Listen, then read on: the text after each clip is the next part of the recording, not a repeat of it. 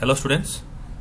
In this video I am going to discuss about the basics of the applet and please remember that in this I am going to discuss only the important points about this applet which will be helpful for writing in the end examination. So I am discussing only important points which are useful for the end examination right. So first of all I will discuss about the definition of the applet which is uh, important for 2 marks. You see the definition now. Applets are small applications that are accessed on an internet server transported over the internet automatically installed and run as part of a web document. So what is the meaning of this? So first of all here we can see a term called internet server. So yes take a server here. Take a server. So initially our applets are stored on this server okay? So this is our applet. So applets are small applications nothing but they are also java programs. And they are initially present on any internet server. Now assume that this is my computer right? And now I want to run this applet. My requirement is to run this applet. So what I have to do? So I will be having a link. I will be having a link. When I click on this when I click on this link this applet will be see here transported over the internet. So this applet will be transported over the internet and it reaches my computer and it is going to be automatically installed on this computer. And finally it is going to run as a part of a web document. So the meaning of that is so this applet will come to your computer and it is going to run on any web browser right? So web browsers like you know google chrome or internet explorer okay? So these points are important. So they are initially present on the internet server so whenever you want to execute them when you click on any link they will be transported over the internet from this server to your computer and automatically installed and run as a part of a, web document. Okay? So this is the meaning of the definition. You can write this definition in your own words. And another important point about applets is there is no risk of viruses there is no risk of virus or breaching data integrity. It is one of the advantage of the applets right? Now this is a very simple uh, simple applet program. So it is having one class okay? So class simple applet. And in order to make this class as an applet you have to extend the class called applet class okay so we are going to use this keyword extends in the context of inheritance right? So this is a super class and your class will become the subclass. And this applet class was present in a package called java.applet package. So you have to import that package. And now in every applet we are going to write this paint method. So you have to remember this public void paint of graphics g and this paint method is taking one argument. What is the argument? Graphics object. Graphics object okay?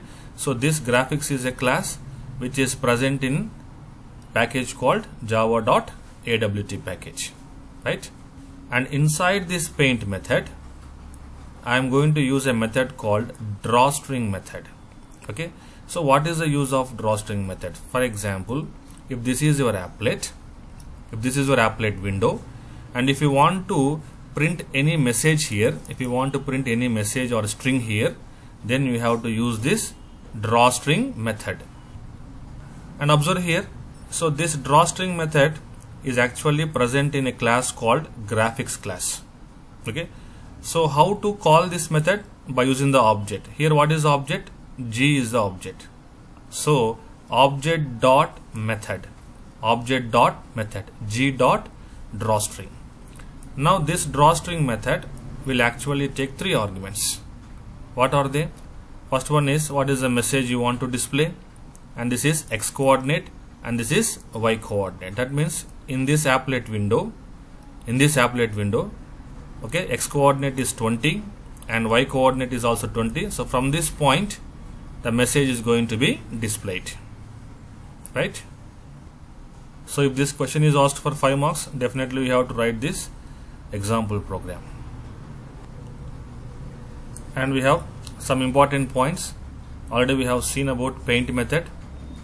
So what is the use of paint method? So it is going to be called each time that the applet must redisplay its output. So whenever you want to redisplay the output you have to call the paint method. And inside the paint method you have to write this drawstring method. As we have discussed earlier what is the use of this drawstring method? It is going to output a string. And this is the general form of the drawstring method.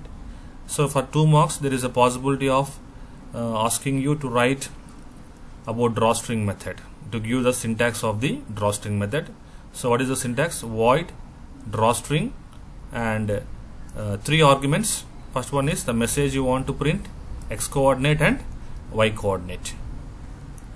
And one more important point is notice that the applet does not have the main method. So for applets no need of the main method. And if it is asked for uh, 10 marks you have to add, write this one also write about this one also. So for every applet definitely you have to use applet tag. So this is the applet tag beginning of the applet tag and end of the applet tag. And you have to write this code and you have to save this uh, you have to write this code in a notepad and you have to save this in a HTML file okay? So this applet tag uh, will have three important uh, fields. First one is code next one is width and next one is height. So what is this width and what is this height? So whenever in the output so this is the width of the applet window that is 200 and this is the height of the applet window right? And what is this code simple applet. If you do remember so here the simple applet is this one only. Whatever the class you have written previously so you have to give this class as input to the applet tag. So here I'm giving the simple applet as input to this applet tag okay? How to compile? Normal compilation. javac simple applet dot java. And how to run an applet? There are actually two ways. First way is by using a web browser you can run the applet. And the second way is by using an applet viewer. So what is the command to run the applet using applet viewer? See here applet viewer run app.html so previously I told you now you have to uh, write an HTML file. So that file you have to save with run app run app.html so this applet code you have to save it in HTML file and save this by using a run app.html okay? And that one you have to write here run app.html okay? And finally you are going to get an output like this. This is applet window right? So here x coordinate is 20 and y coordinate is 20 so from this point onwards I am displaying a message called a simple applet. Okay